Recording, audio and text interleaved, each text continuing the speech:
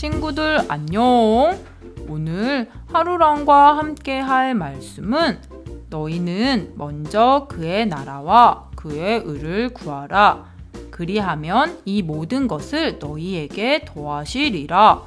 마태복음 6장 33절 말씀. 아멘.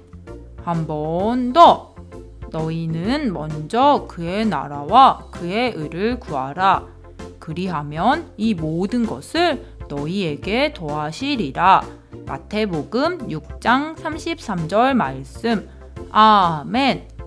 하나님을 알기를 원하고 하나님을 사랑하면 그 마음을 하나님이 보시고 모든 것을 친구들에게 더하여 주셔.